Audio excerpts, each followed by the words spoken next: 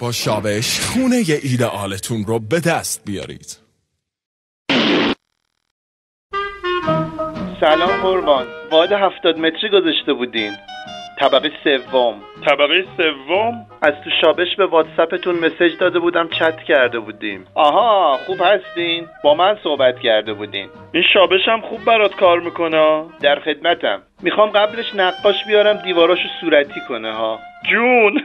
خسرو. چرا صورتی حالا؟ کادو ولنتاین نامزدمه. می‌خوام سورپرایز شه.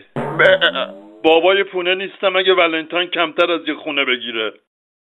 الو؟ سلام بابا. پرویز چی واسط گرفته ولنتاین؟ پرویزی در کار نیست. باش به هم زدم. آدم عاقل آخه دم ولنتاین به هم می‌زنه؟ اون به هم زد آخه. حالا شما نگران من نباش با یکی دیگه دوست شدم. می‌دونستم ولنتاین رو از دست نمیدی.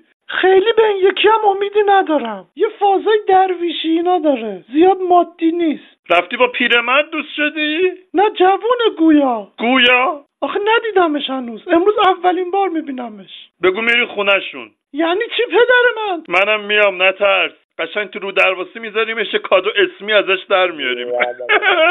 این یه آدم معنویه. آخرش با دو تا سخن پنداموز سر و تش رو هم میاره. حالا می‌بینیم دیگه. بیاد ببینیم این شازده کی هست.